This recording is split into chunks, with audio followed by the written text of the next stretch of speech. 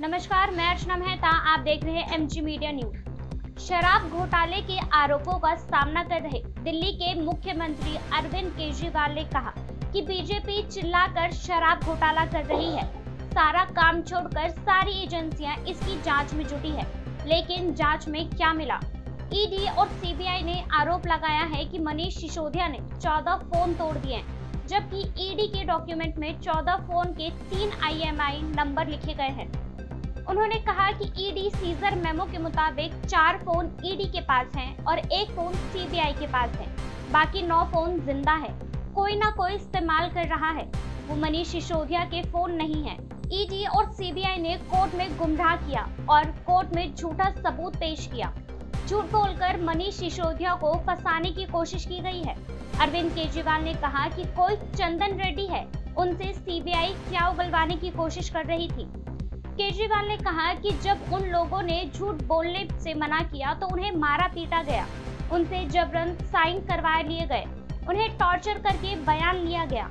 उन्हें काफ़ी चोटें आई हैं। ऐसे पता नहीं कितने लोग हैं जिन्हें धमकियाँ देकर उनसे झूठ बुलवाया जा रहा है।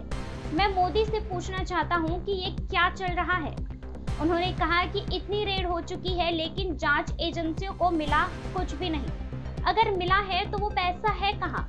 फिर आरोप लगाया गया कि गोवा के चुनाव में 100 करोड़ रुपए खर्च हुए हैं। जाँच के नाम पर लोगों को दबाया जा रहा है।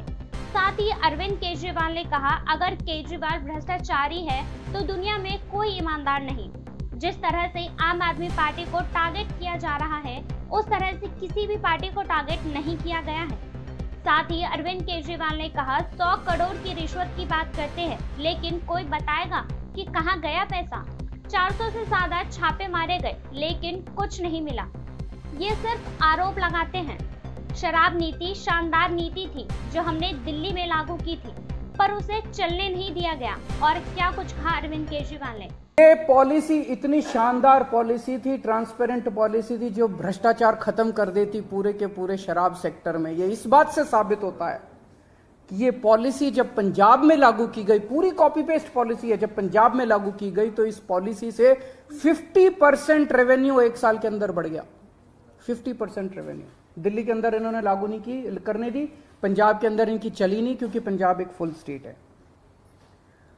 तो मैं मोदी जी को कहना चाहता हूँ, मोदी जी, अगर केजरीवाल भ्रष्टाचारी है तो फिर इस दुनिया के अंदर कोई ईमानदार नहीं है।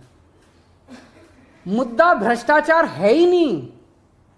मुद्दा भ्रष्टाचार की जाँच है ही नहीं। मुद्दा शराब घोटाला है ही नहीं। ऐसा शख्स देश का प्रधानमंत्री जो सर से लेके पैर तक भ्रष्टाचार के अंदर डूबा हुआ है, उसके लिए भ्रष्टाचार मुद्दा कैसे हो सकता है? पिछले मन मार्च के आखिरी हफ़्ते के अंदर मैंने इतने सारे असेंबली के अंदर इतने सारे गिनाए थे भ्रष्टाचार जो इन्होंने किए हैं। इतने भ्रष्टाचार गिनाए थे। इन्होंने तो मेरे को तभी कह दिया था उस दिन जिस दिन असेंबली में मैंने स्पीच दी थी शाम को संजय सिंह का मैसेज आया कि, कि अरविंद जी अब अगला नंबर आपका है। दिल्ली के सीएम अरविंद केजरीवाल ने सीबीआई और ईडी के कार्रवाई पर ट्वीट किया है। उन्होंने लिखा है कि दिल्ली सरकार सीबीआई और ईडी के खिलाफ अदालत में केस दायर करेगी।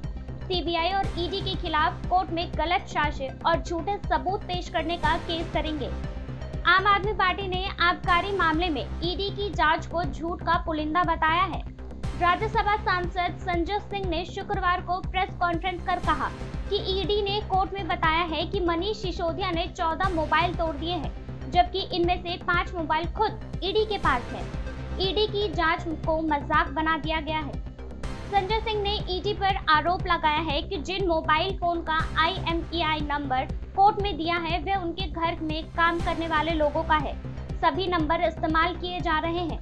अगर ये लोग हमें ज़िंदा नहीं देखना चाहते तो अरविंद केजरीवाल सत्येंद्र जैन, संजय सिंह को जहर की पुड़िया देकर बोलो कि हम सबको खत्म कर दे। इतनी ही नफरत है तो चौराहे पर गोली मार दो हमको। क्यों ये ड्रामा कर रहे हो? फ़िलहाल के लिए बस इतना ही। देश और दुनिया की तमाम खबरों को देखने के लिए देखते रहिए एमजी मीडिया